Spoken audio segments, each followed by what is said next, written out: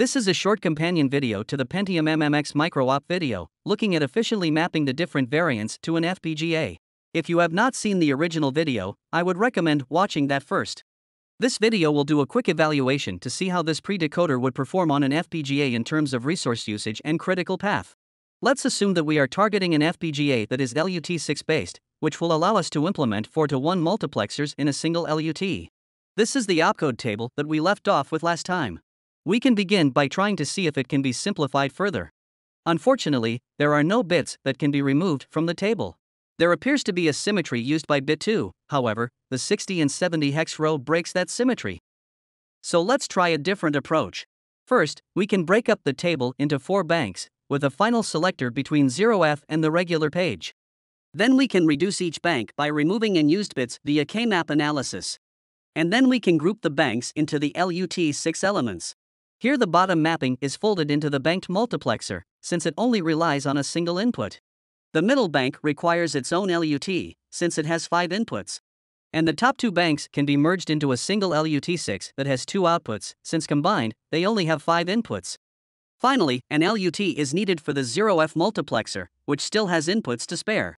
So this is the mapping that we get. A total of 4 LUTs. However, since the lengths can still vary based on the processor mode, we need three copies of this table. Two copies of the table are needed for the 2-bit length value. One copy is needed to evaluate if the length for a given opcode is affected by the processor's data width mode.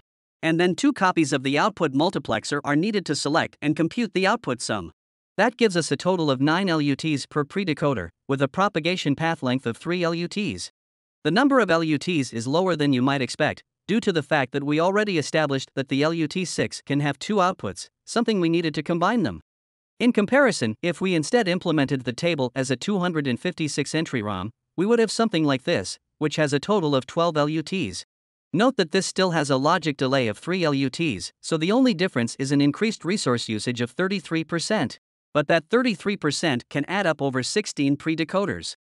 And for reference, this is what it would cost to also compute the offset length for the MMX instructions, and for all of the normal page instructions as well.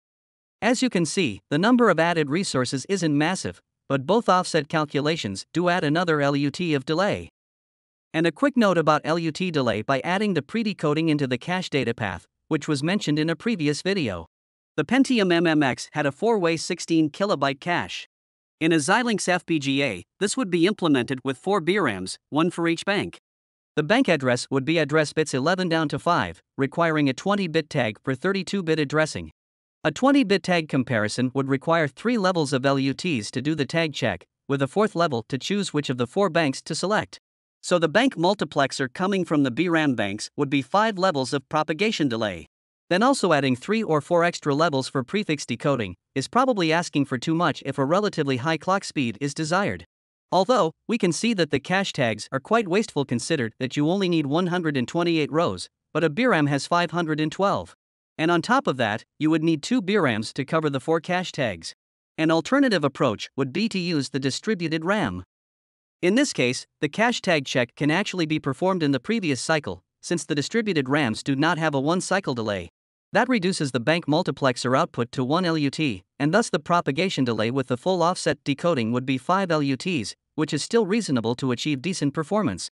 The trade off here, though, is allocating the cache tags to the distributed RAM instead of a BRAM. So, with this sort of implementation, it may be viable to implement the original pre-decoding method that I had speculated, which would simplify the prefetch buffer logic as well as provide a minor performance boost to decoding on a cold prefetch buffer.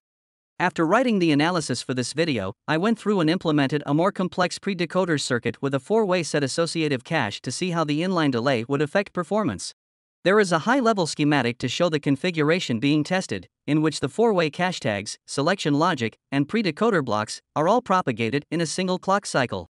Additionally, the predecoder was expanded a bit from what was originally mentioned, so that it can properly determine instruction lengths up to 8 bytes in length given decoding of the mod RM byte as well. The table here compares four configurations, with more complex predecoding rules. These were implemented with a ROM lookup table that could be easily swapped. All of the implementations were tested on a Dash 2L SpeedGrade, Xilinx UltraScale Plus device. I was also able to calculate the pre-decoder accuracy in relation to a test instruction stream. This test stream is different from the simulation videos and is operating in 32 bit mode. The accuracy does include prefix accumulation and microcode instructions, so it's comparable to the result from the simulation videos, although with some relaxed rules to increase performance. As for the test configurations, the special case is identical to the simpler mapping, with the exception that it includes those dropped instructions in the first opcode table. And the plus PREF indicates that all of the prefix bytes are marked as one byte. As for the results, the first thing to note is that the LUT count per predecoder is similar to what I had originally quoted. The original sum with offset length calculation would have been around 16 LUTs. Additional fields were required to account for the 16 bit and 32 bit difference, and as I mentioned, these predecoders can correctly determine offset length, including accounting for a SIB byte. They do not, however, include any additional offset that may be specified by the SIB byte itself. The reason for a more complicated predecoder is that many mid to late 90s era games utilize slightly more complex addressing modes which the Pentium MMX could support on the back end. Essentially, this would increase the decoding IPC without requiring a back end change. With that said, the total ends up roughly double, at 33 LUTs. The next thing to note are the clock speeds. These are all taken from the slow corner. Curiously, the clock speed increases as the LUT usage and complexity also increases. I suspect this may have to do with LUT packing. In the simpler cases, several logical evaluations can share a single LUT, whereas the more complex ones need to dedicate some of those LUTs specifically. Essentially, the larger predecoders end up with less routing congestion. Alternatively, you could claim that all of these frequencies are roughly within the stochastic variation of place and route, and will roughly perform about the same.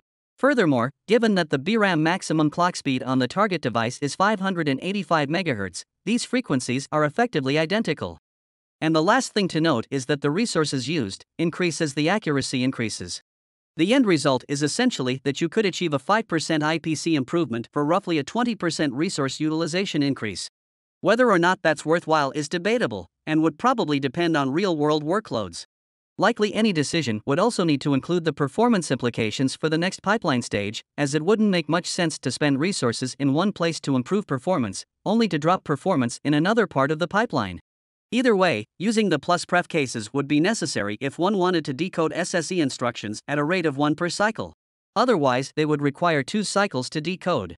While the Pentium MMX didn't originally support SSE, they could conceivably be implemented with microcode emulation, which would save instruction cache space, bandwidth, and improve pipeline parability. Naturally, I didn't stop here when looking into implementing a predecoder, but it very quickly escalated in complexity when accounting for more of the pipeline. The solution ended up being far more complicated, which interestingly appears to be much closer to what Intel actually did after reading through a few patents. While that was able to achieve a slow corner clock of over 400 MHz on an UltraScale Plus 2L speed device, the IPC performance, resource usage, and maintainability make it impractical. But that's a topic for another video or three, so I will leave it here for now. Anyway, hopefully you found this interesting. Thanks for watching.